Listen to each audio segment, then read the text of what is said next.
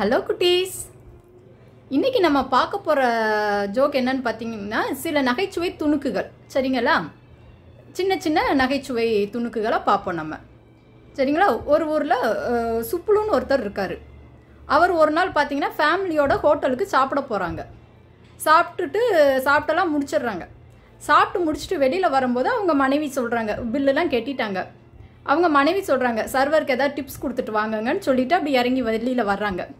வெளியில் வந்தோடனையும் ஒரு அஞ்சு நிமிஷம் ஆகுது. அவர் வேற போகிறாரு சர்வர்கிட்ட சர்வர்கிட்ட போய் நீங்கள் வந்து வெள்ளரிக்காயை டெய்லி த கண்ணில் வச்சுட்டு படுங்க. கண் உங்களுக்கு குளிர்ச்சியாக இருக்கும். அதேமாரி வெட்டி வேறு ஊற வச்ச அந்த எண்ணெயை தலைக்கு தேய்ச்சிட்டு வந்தீங்கன்னா உங்களுக்கு வந்து பார்த்தீங்கன்னா தலைமுடி நல்லா கருகருன்னு மாறிடும் அப்படிங்கிற மாதிரி சொல்கிறாங்க உடனே சர்வர் ஆயிரத்தெட்டு வேலையில் இதை கவனிக்கல. என்னடா லூஸ் மாதிரி புலம்புறாருன்ட்டு போயிடுறாரு. இதெல்லாம் கவனிச்சு ஓரமாக நின்று மனைவி பார்த்துக்கிட்டு இருக்காங்க. என்னங்க ஏங்க இதெல்லாம் போய் அவர்கிட்ட போய் சொல்லிக்கிட்டு இருக்கீங்க? சர்வர்கிட்ட வேலையை பார்க்க விடாம ஏங்க இதெல்லாம் போய் அவர்கிட்ட போய் சொல்லிக்கிட்டு இருக்கீங்க? அப்படிங்கிற மாதிரி கேட்குறாங்க மனைவி. அதுக்கு அவர் சொல்கிறாரு சுப்புலு நீ தானம்மா அவர் சர்வருக்கு டிப்ஸ் கொடுக்க சொன்னேன் அதனால தான் நான் டிப்ஸ் கொடுத்துக்கிட்டு இருந்தேன் அப்படிங்கிற மாதிரி சொல்கிறாரு மனைவி தலையில் கையில் வைக்கிறாங்க தலையை கை கை வைக்கிறாங்க. ஓகேவா குட்டீஸ்? நெக்ஸ்ட்டு அடுத்து பார்த்தீங்கன்னா ஒருத்தர் வந்து பார்த்தீங்கன்னா ஒரு ஃபாரின் கார் வாங்குறாரு. வெளிநாட்டு கார் ஒன்றும் வாங்குறாரு. அந்த காரில் பார்த்தீங்கன்னா இன்ஜின் வந்து முன்னாடி இல்லை பின்னாடி தான் இருக்கும். அந்த இதுக்கு வந்து இன்ஜின் வந்து எப்பயும் வந்து முன்னாடி இருக்கும். அந்த ஃபாரின் காரில் பின்னாடி இருக்குது அப்படி இருக்கும்போது ஒரு நாள் வந்து வெளி வெளியில் ஊருக்கு வெளியில் போய்கிட்டு இருக்காங்க. அப்படி போகும்போது பார்த்தீங்கன்னா திடீர்னு ரிப்பேர் ஆயிடுது காரு. உடனே வேகமாக இறங்கி என்ன ரிப்பேர்னு பார்ப்போங்கிறதுக்காக முன்பக்கம் இதை திறக்கிறாரு. ஏன்னா அவருக்கு தெரியாது அதில் பின்னாடி தான் இன்ஜின் இருக்குங்கிறதே அவருக்கு விவரம் தெரியாது. இவர் பி- முன்னாடி வந்து எப்பயும் போல் திறந்து பார்க்குறாரு திறந்து பார்த்தா அவருக்கு ஒரே அதிர்ச்சி. ஐயோ நம்ம இன்ஜினை காணுமே அப்படிங்கிற மாதிரி பதட்டம் மாறுறாரு ஏன்னா இன்ஜினை காணும்னு நினைக்கிறாரு.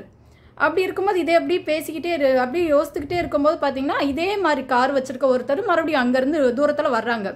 தூரத்தில் வந்தோடனே இவர் கார் நிற்கிறத பார்த்துட்டு ஒரு ஹெல்ப்புக்கு அவர் வேகமாக வந்து இறங்கி வர்றாரு. என்ன சார் என்ன ஆச்சு? அப்படின்னு.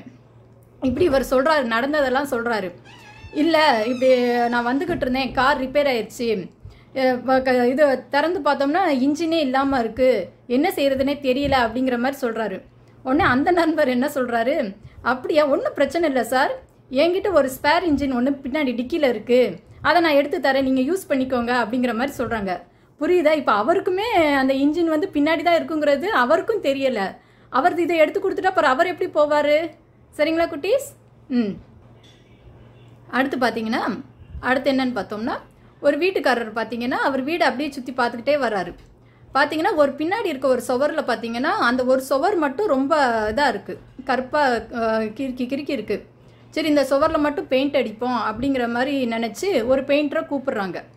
பெயிண்டரை கூப்பிட்டு உள்ள வீட்டுக்குள்ளே உட்காந்து பேசுகிறாங்க பேசும்போது அவர் சொல்கிறாரு பின்னாடி இருக்க செவரில் மட்டும் நீங்கள் பெயிண்ட் அடிக்கணும்.